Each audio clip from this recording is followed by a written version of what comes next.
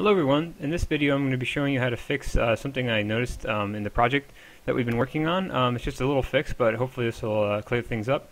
So you may have noticed that when you're playing the game, um, uh, UE4 Pong through this tutorial series, that the standalone runs, um, the artificial intelligence paddle, runs significantly slower than in the editor. And there's a very uh, good reason for that. Basically what's happening is in the editor, um, this is this is running at close to 120 frames per second, and the actual standalone is set to run at 60 frames per second like we said earlier. So the way to fix that is we want to make it consistent between both. We're just going to change the uh, settings in the uh, Unreal Engine 4 editor to be 60 frames per second.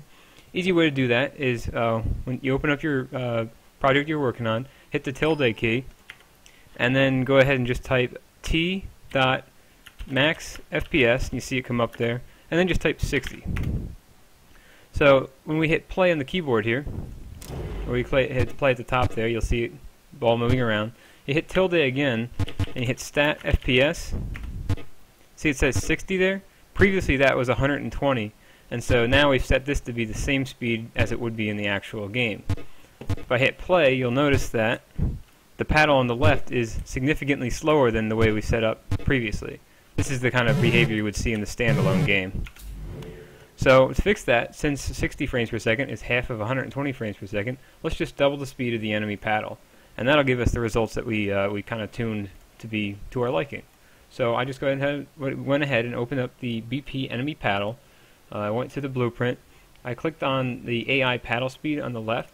This is all from the you know tutorial series we did uh, in uh, just a while ago. And I went over to the default value and set that to 20,000 instead of 10,000. Compile and save that. Go back to the menu, and I'll go ahead and just hit play again.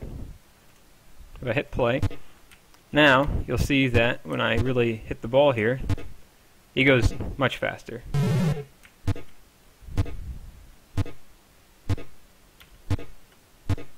And there we go. That's what we're expecting. So now when you actually build out the game, you go to File, project, Package Project, uh, go to Windows 64-bit or whatever you build to. In this case, I can just build to my desktop and we'll give that a second, and I'll show you the final results. So before you had the AI paddle, and it was a bit sluggish at times, and we we tried to work to make it a little more controllable, but uh, I think this is the, uh, the, the real best solution for it because it was just that discrepancy between the 120 frames in the editor and 60 frames inside the standalone. So I'll go ahead and just open that up, and we'll open this up. Looks good. Okay, I'll hit play. And this is the, you know, running standalone, completely independent kind of thing you could send to somebody. And you see the paddle's really much faster. And more akin to the kind of thing we were working on in the editor. And just to be sure, I can even use the tilde key here since it's a development build. Hit it once, and then hit stat FPS. And you see it's running at 60. So we know everything's set up right, and uh, that's pretty much it. So I just wanted to make this uh, video real quick just to cover that issue and just make sure uh, it was running as expected. So thanks a lot. If you appreciate this tutorial, uh, feel free to give me likes and uh, thumbs up and uh, really appreciate anything you can do. Thanks a lot.